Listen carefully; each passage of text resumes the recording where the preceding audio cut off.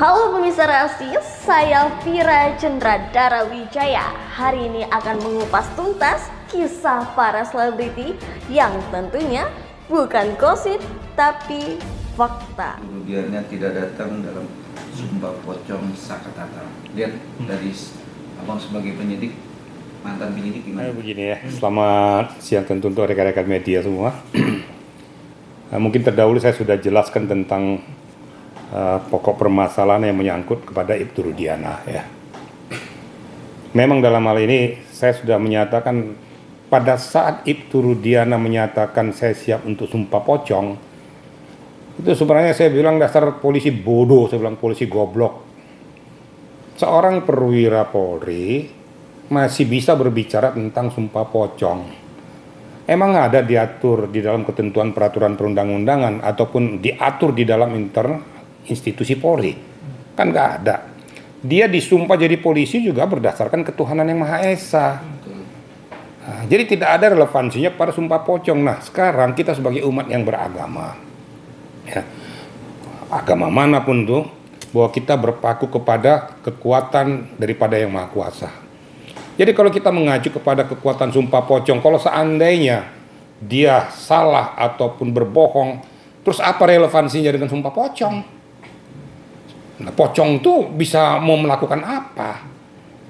Ini kan jadi akhirnya jadi nggak jelas, bias, dan digoreng orang lagi.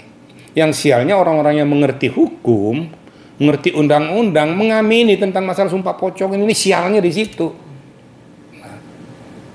akibatnya eh, terjadilah seperti ini gak rame. Nah, nanti besok-besok nanti ada sumpah genderuwo, ada sumpah tuyul, Nah, karena ini permainan-permainan orang. Di agama mana pun ini karena musrik ini, ya bener. Oke, Betul. bicara mencari kebenaran untuk diri sendiri bahwa anaknya benar-benar meninggal bang. Mindset masyarakat kan menilai atau praktisi kan melarinya ke situ. Tapi kan Sakatata memberanikan untuk sumpah pocong itu karena dia benar tidak ada di posisi Tidak apa yang dibilangkan dengan perkara kasus Kina ini. Apakah harus dengan sumpah pocong? Kan ada nanti di pengadilan sumpah, ya.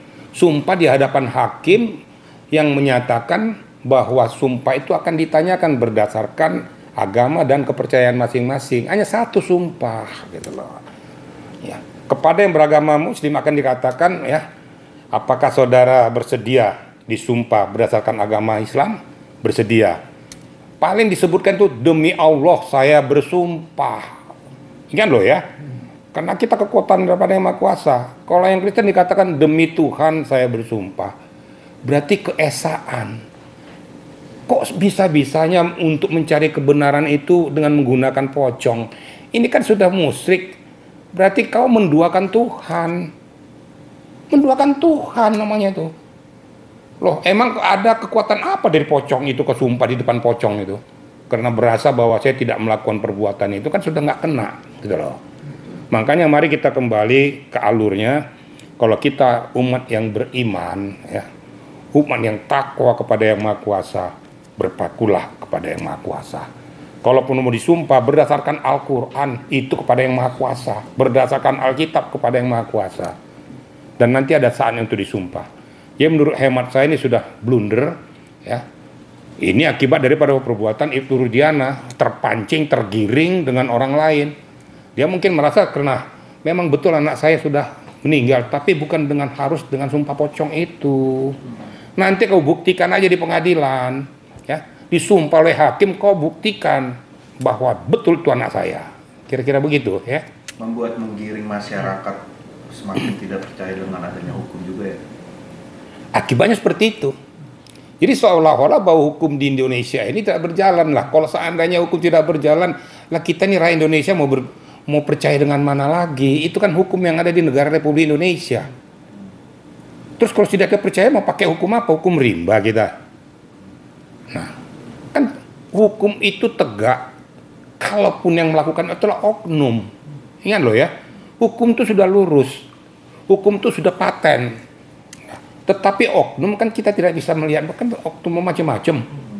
Ada untuk kepentingan pribadi, kelompok dan lain sebagainya. Itu kan oknum. Tapi jangan dong hukum kita dikebiri. Contoh, ada yang bilang polisi dibubarkan loh. Kalau polisi dibubarkan, kok mau jadi apa? Lapor ke mana? Mau lapor kepada security kalau terjadi pembunuhan? Mau lapor kepada satpam? Eh, ini akibatnya pemikiran-pemikiran yang akhirnya ortodok yang muncul. Lah kalau memang oknum melakukan itu di mana-mana oknum, bukan hanya di Polri aja, di instansi mana pun ada-ada aja oknum-oknum yang menyalahgunakan kewenangannya. Ini mari sama-sama kita luruskan. Kalau oknum itu memang betul-betul bersalah, kita buktikan harus diberikan tindakan sanksi oleh institusinya gitu loh. Tapi jangan lembaganya. Lembaga tuh syah. Dulu pernah saya katakan, negara bisa berdiri apabila ada TNI, ada Polri, ada pemerintahannya, ada pimpinan negaranya.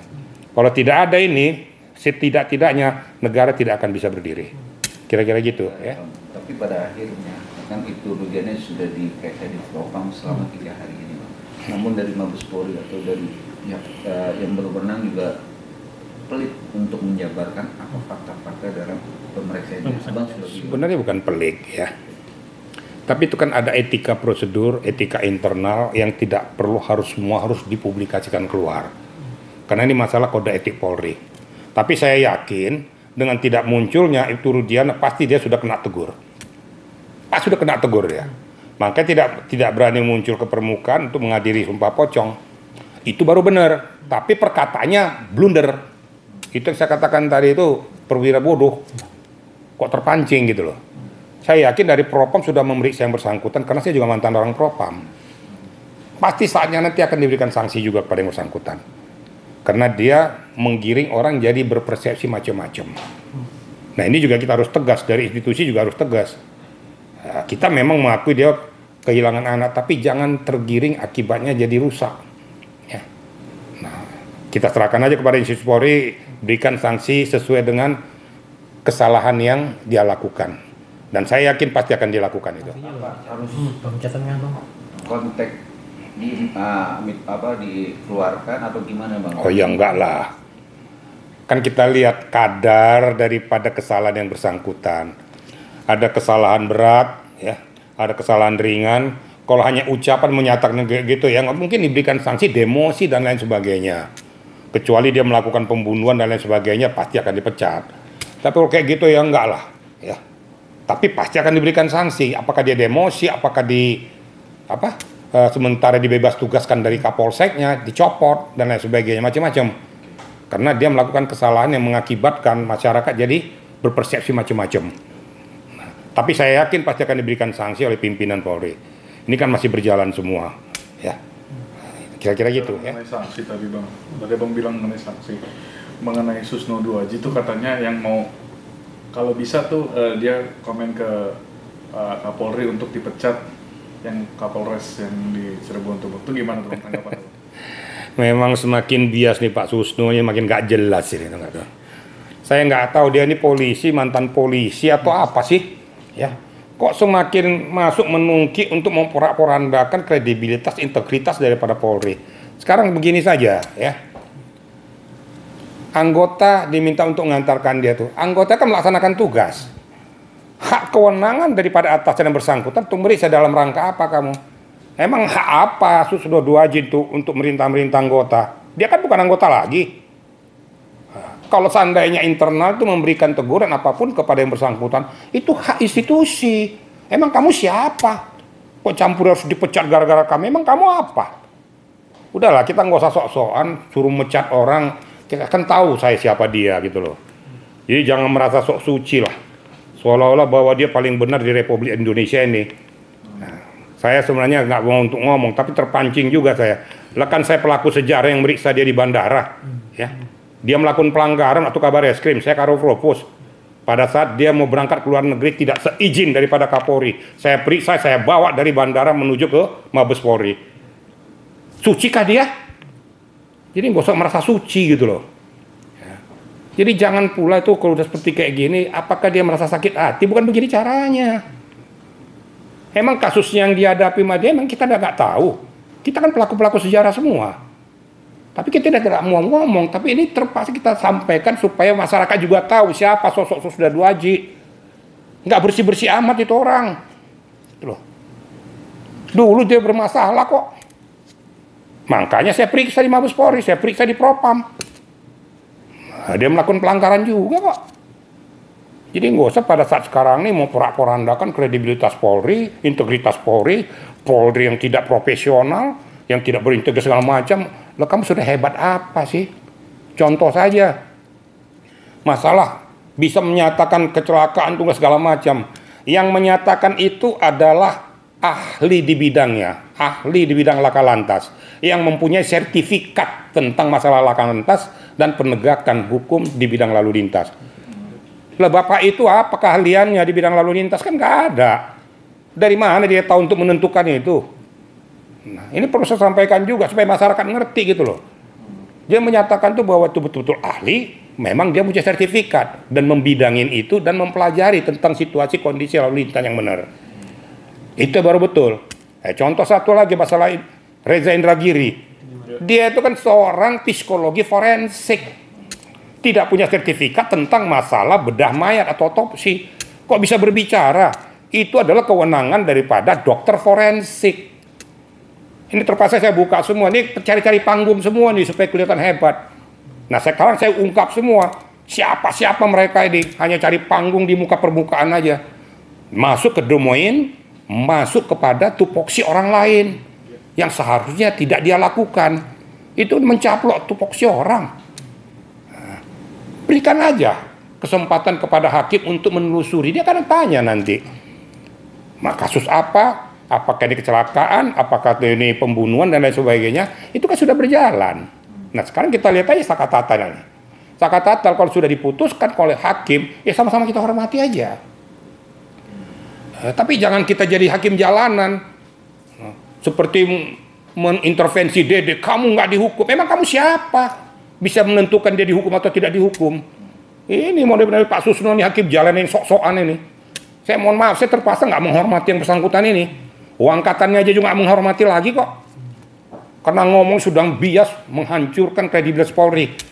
Kalau memang betul-betul dia cinta dengan Polri, bukan begitu caranya.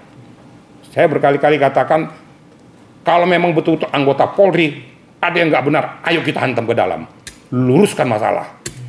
Itu yang paling benar. Bila penting kita berembuk ketemu dengan Kapolri, ketemu dengan petinggi Polri, tolong diatur supaya Polri ini makin bagus, jangan makin rusak. Tapi ke dalam kita, jangan kita cuap-cuap keluar. Ada let's spread the cops. Saya diajarkan di lembaga, ya, di lembah tidar dulu bergabung waktu di Akabri itu diajarkan bahwa itu pecah keluar jangan sampai.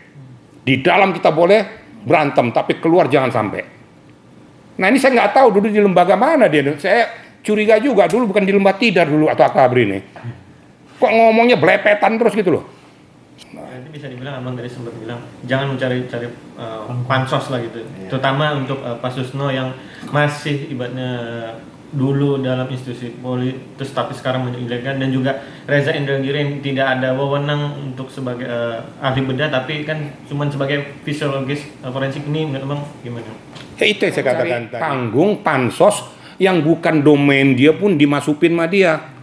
Kok bisa-bisa membedah masalah itu? Seperti masalah lalu lintas kamu kewaliannya di lalu lintas apa? Gitu loh masalah bedah mayat, emang keahlianmu apa? Kamu kan psikologi forensik, bukan dokter forensik. Ini harusnya yang punya kewenangan ini ngomong itu ke media tuh. Dibuka supaya mata masyarakat terbuka juga. Jadi jangan hanya menerima daripada manusia-manusia yang cari panggung ini. Ayo kita tegakkan hukum. Tapi hukum yang benar. Jangan manusia-manusia pansos ini sudah langsung masuk jadi hakim jalanan terus. Membedah orang lain, seolah dia itu jadi hakim mempertanyakan pada orang lain. Mau jadi apa? Kemudian mengamini lagi tentang masalah sumpah pocong nih. Purnawiran Polri itu loh bisa-bisa saja amin amin jabang baik. Ini loh punya ilmu tinggi tapi kok dangkal penalarannya gitu loh.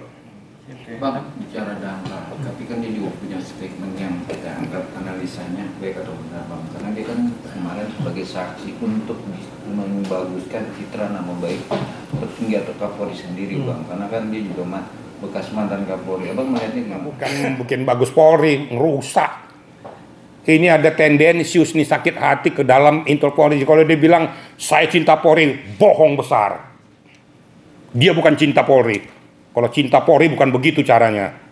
Saya terpaksa marah juga ya. Saya sudah koordinasi dan komunikasi dengan angkatan-angkatan 77 juga dengan juga senior-senior semua sangat menyesalkan tindakan yang satu ini. Bukan cinta Polri kayak gitu. Cinta Polri semua kebobrokan Polri dibongkar-bongkar dia ke umum.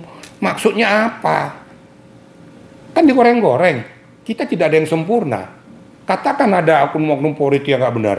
Ayo kita kuliti ke dalam. Kumpulkan, kita hajar. Kasih tahu propam, ini loh anggotamu yang nggak benar nih. Tindak tegas. Tapi ke dalam, biar propam yang tindak bukan publikasi ke umum supaya umum tahu kebobrokan polisi. Saya tidak menyatakan bahwa polisi itu bagus semua, tidak. Ada aja oknum polisi yang brengsek kok. Hmm, saya harus terbuka gitu loh. Ada oknum yang memainkan peranannya, memainkan jabatannya untuk kepentingan pribadi atau kelompok ada aja. Tapi oknum loh ya, bukan institusi. Tapi jangan dong ini dibongkar macam-macam seolah-olah bahwa seluruh anggota Polri junior-junior saya ini yang ada sekarang lagi aktif bobrok semua. Tidak profesional katanya. Kamu aja nggak profesional dulu kok. Kalau kamu profe nggak kalau profesional dulu kamu nggak saya periksa. Kamu nggak saya tangkap dari bandara. Itu aja buktinya. Jadi nggak usah sok suci. Saya ngomong sekarang nih. Sekali lagi saya katakan, ya, institusi Polri mempunyai mekanisme ada tatanannya dalam pemeriksaan namanya sidang kode etik. Saya tidak menyatakan apakah dia mau dipecat atau mau di apa. Ikuti sidang kode etik itu ada propam. Saya orang propam. Tingkat pelanggaran, tingkat kesalahan, tingkat perbuatan yang dia lakukan nanti akan dianalisis. Kalau memang dalam peristiwa ini bahwa dia melakukan pelanggaran berat, itu kemungkinan dipecat atau dibebas tugaskan atau didemosikan dan lain sebagainya ada domainnya. Jadi jangan pula seperti yang Anda katakan itu bahwa ini sudah menurut. Ya kan menurut. Ini yang selalu yang menurut ini bukan menurut fakta hukum. Tapi kan ini proses sudah hampir tiga bulan dalam fakta hukumnya masih.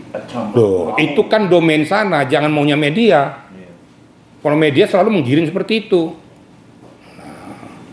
Tapi saya berpaku kepada berikan kesempatan percayaan pada institusi. Kecuali suatu ketika ini didiamkan terus, baru kau boleh ngomong. Tapi ini kan belum. Masih diperiksa, tunggu aja nanti. Nah, jangan kita berasumsi, jangan kita berpersepsi, jangan kita ngambil kesimpulan sendiri, gitu loh. Buktinya nanti di eh, PK Sakata yang membuktikan bahwa ini akan clear, akan terang menderang dengan keputusan hakim dengan PK-nya Sakatata. Kan saya katakan terlebih dahulu, apa pun keputusan tentang saka tatal diterima atau ditolak, kita hormati. Itu makanya kita menghormati peradilan, menghormati hukum. Ya, siapa ya hakim? Kalau hakim nggak dipercaya lagi, mau siapa lagi? Mau hakim jalanan lagi kayak yang seperti yang terjadi ini. Masalah itu terjadi ada abuse, itu oknumnya. Gitu loh. Nah, makanya adanya komisi judicial. Dan komisi judicial dengan situasi yang sudah seperti ini betul-betul berperan aktif untuk melihat, untuk menegakkan keadilan supaya masyarakat mendapatkan keadilan itu. Oh, Ya, Oke. Oke. Infotainment.